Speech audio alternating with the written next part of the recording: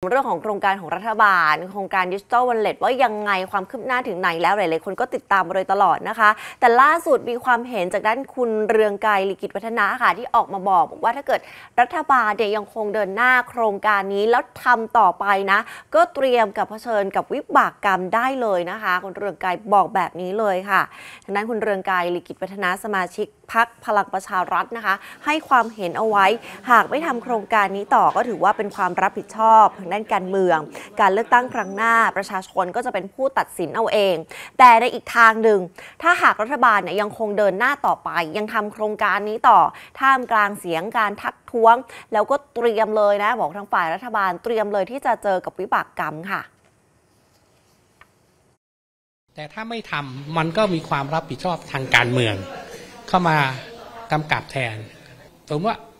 เลือกตั้งครั้งหน้าเนี่ย ประชาชนก็จะเป็นคนตัดสินนะครับ แต่ถ้าท่านใช้เเรื่องนี้ออกไปนะครับ ไม่ว่าจะโดยมติคอรมอหรือหรือเสนอเป็นร่างพรบแล้วกู้เงินออกไปหนึ่งนะครับ เงินตัวนี้หายหมดแน่นอน นี่ค่ะนอกจากนี้คุณเรืองกรยังบอกด้วย บอกว่าตัวเขาเองเนี่ยไม่แปลกใจในตัวคุณเศรษฐาที่ไม่เคยมีความเข้าใจเรื่องของการเมือง เพราะว่าจู่ๆก็ได้มาเป็นนายกรัฐมนตรี แต่มองไปถึงคนรอบตัวของคุณเศรษฐา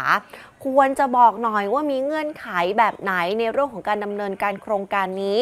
ส่วนที่มีรัฐมนตรีคนไหนที่ออกมาบอกว่าเดือนพฤษภาคม จะได้เงินก็ไม่เคยเชื่อเลย คุณเรืองไกรบอกบอกไม่เชื่อเลย และถ้าหากยังคงเดินหน้ากล้าลุยไฟต่อ ก็ต้องรับผิดชอบร่วมกันในฐานะที่เป็นคณะรัฐมนตรีค่ะ โดยเฉพาะคุณเศรษฐา หากมีการเสนอร่างพรบเงินกู้ เข้าสภาไปแล้วเนี่ยแล้วไม่ผ่านในวาระที่ 1 นั่นอาจจะไม่ต้องถึงขั้นยุบสภาเลือกตั้งใหม่ เพราะจะเกิดความเดือดร้อน แต่ว่านายกรัฐมนตรีควรที่จะลาออกเปิดทางให้คนอื่น ขึ้นมาเป็นนายกรัฐมนตรีแทน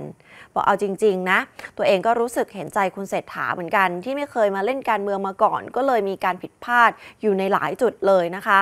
พร้อมกันนี้ยังบอกว่าเชื่อว่าหากมีการเสนอร่างพรบเงินกู้เข้าสภา ก็จะมีคนที่นำไปร้องต่อสารรัฐธรรมนูญ